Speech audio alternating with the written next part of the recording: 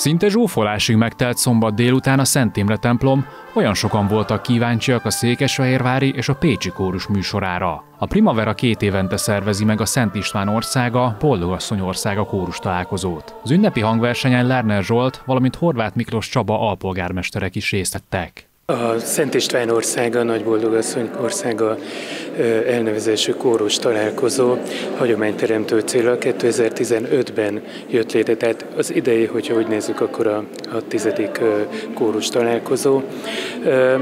Az idejében és minden évben a Primavera kórus, ők hívták létre, és minden évben egy vendégkórust meghívnak.